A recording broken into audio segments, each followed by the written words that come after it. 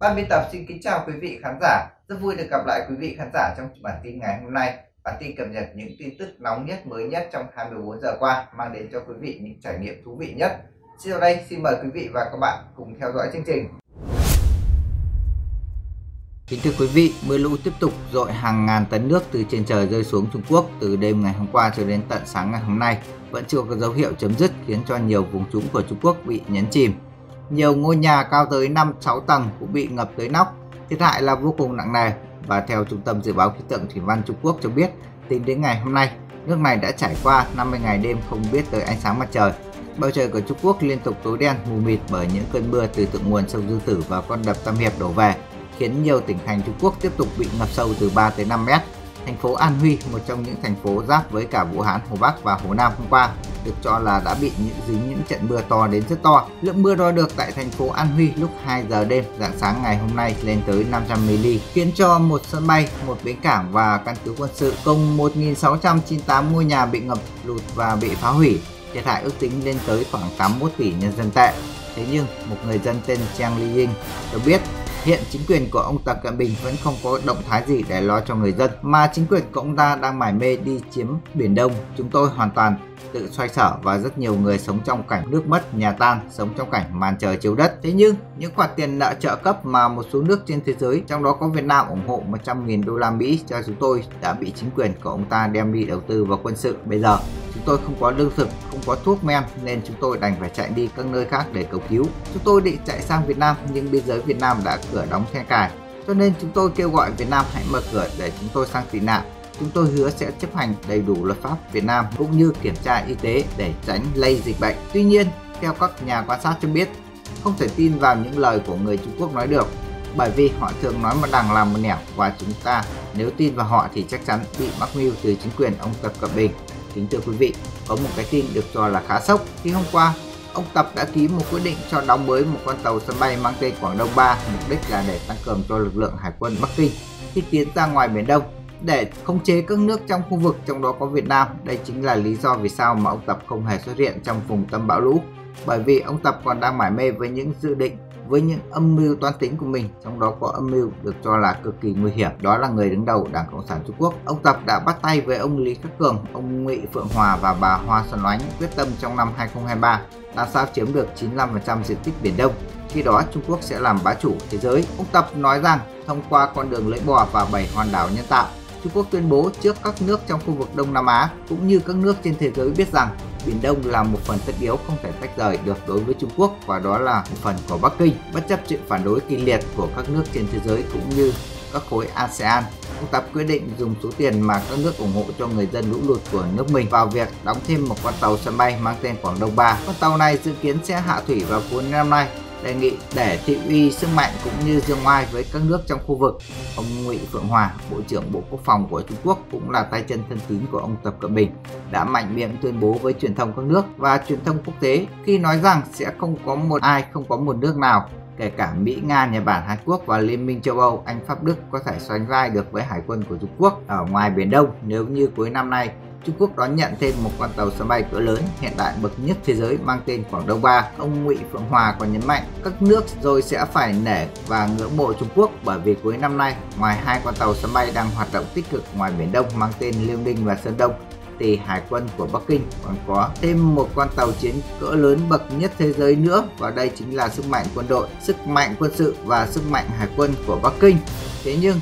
ngay sau khi bài phát biểu của ông Nguyễn Phượng Hòa cũng như ông Tập Cận Bình kết thúc thì các nhà chuyên môn và các nhà quân sự trên thế giới nói rằng các tàu sân bay của Trung Quốc chỉ là hàng mã và hàng lởm chuyên đi ăn cắp bản quyền sở hữu trí tuệ bằng sáng chế của các nước trên thế giới để về sáng minh ra một con tàu sân bay hòng bắt nạt các nước trong khu vực chứ không thể nào bắt được bắt nạt được Mỹ Nga bởi vì hai cường quốc số 1 trên thế giới đều hiểu rằng Trung Quốc không thể nào tự đóng một con tàu sân bay. Điều này đã được các chuyên gia quân sự Nga tố cáo rằng chính quyền ông Tập Cận Bình đã bỏ ra một số tiền lớn để mua lại tàu sân bay hết đắt thải ra từ Ukraine sau đó về nghiên cứu chế tạo ra con tàu sân bay mang tên Liêu Ninh để đi hù dọa các nước trong khu vực. Thực chất,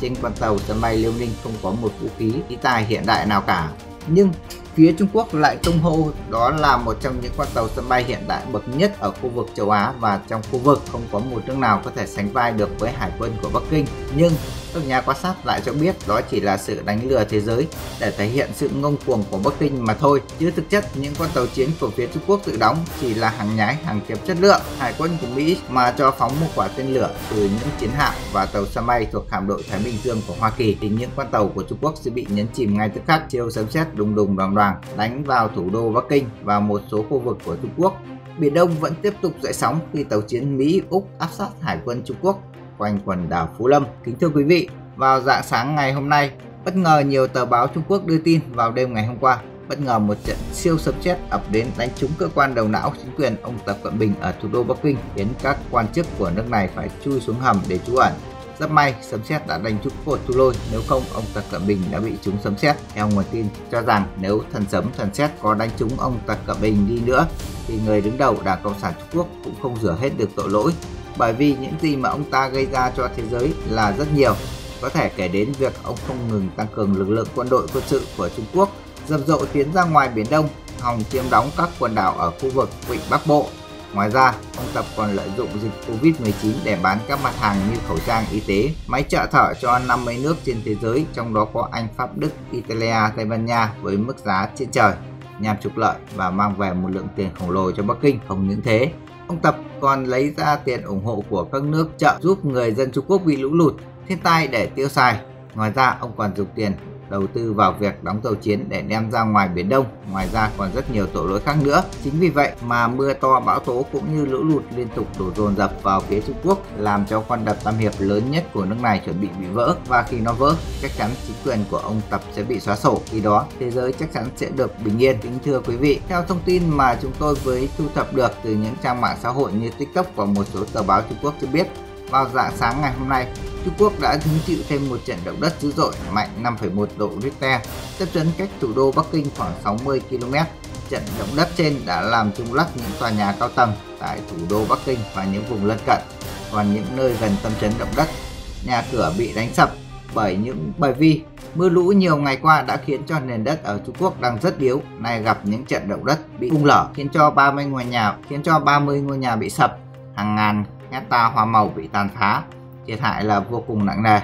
Không những thế, mưa to đến rất to vẫn tiếp tục dội hàng ngàn tấn nước xuống Trung Quốc và theo Trung tâm Kiểm soát Lũ lụt Trung ương Trung Quốc thống kê cho biết, tính đến ngày hôm nay, Trung Quốc đã vừa tròn 50 ngày đêm không có mặt trời. Mặt trời của Trung Quốc liên tục xuất hiện màu xám xịt, mù và đen tối. Nhiều ý kiến cho rằng dường như ông trời vẫn tiếp tục giáng những đoàn đau thương xuống Trung Quốc để trừng trị chính quyền của ông Tập Cận Bình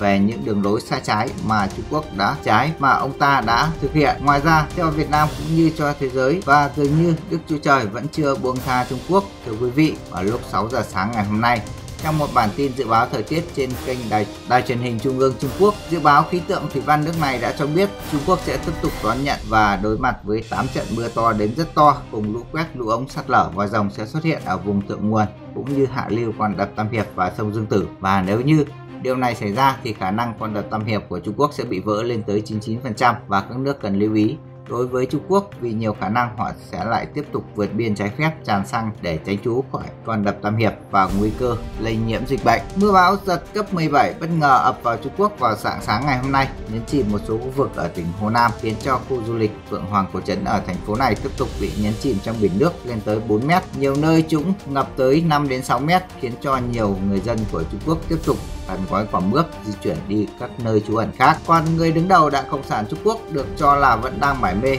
nhiều quân đội của Bắc Kinh mang theo máy bay tàu chiến cùng vũ khí hạng nặng, vũ khí sát thương, tên lửa tiến ra ngoài Biển Đông, hòng đe dọa các nước trong khu vực. Người đứng đầu Trung Quốc được cho là đang chiếm đóng các đảo ở ngoài Biển Đông, không lo cho người dân của nước mình và khi lũ lụt, động đất, sóng thần, lũ quét, sạt lở. Đê bao bị vỡ liên tục xảy ra đối với 28 tỉnh thành phía Nam của Trung Quốc làm cho hàng triệu người dân của nước này phải chạy tán loạn đi lánh nạn. Rất nhiều dòng người của Trung Quốc tranh nhau bỏ ra 5.000 nhân dân tệ để được các môi giới đưa người trái phép vượt biên sang Việt Nam. Tuy nhiên, tất cả đã bị lực lượng biên phòng của Việt Nam bắt tại trận và cho đi cải tạo gấp nhằm gian đe những tên phạm tội Trung Quốc muốn đưa dịch bệnh lây nhiễm vào đất nước Việt Nam. Kính thưa quý vị, vào lúc 19 giờ giờ địa phương tối ngày hôm qua trên kênh truyền hình Trung ương Trung Quốc CCTV trong bản tin về dự báo thời tiết nói rằng mưa to gió lớn vẫn tiếp tục càn quét nước này. Đến dạng sáng nay, những cơn mưa to đến rất to vẫn tiếp tục chút hàng ngàn tấn nước từ trên trời rơi xuống phía Trung Quốc làm cho hệ thống điện đường trường trạm tại một số tỉnh như Hồ Bắc, Hồ Nam, An Huy, Tứ Xuyên tiếp tục bị nhấn chìm trong dòng nước lũ. Người dân của Trung Quốc tiếp tục tháo chạy khỏi những vùng lũ quét, sạt lở ở hạ nguồn sông Dương Tử và quân đập Tam Hiệp để đi tránh trú. Các nước có đường biên giới giáp với cả phía Trung Quốc như Nam Lào, Myanmar, Triều Tiên, Nga và những nước mà Trung Quốc muốn chạy sang để tránh lũ. Chúng tôi sẽ liên tục cập nhật cho quý vị vào các bản tin kế tiếp. Còn chương trình ngày hôm nay, do thời lượng có hạn, chúng tôi xin phép được giảm dừng tại đây. Kính chúc quý vị một ngày tràn đầy sức khỏe. Xin kính chào và hẹn gặp lại.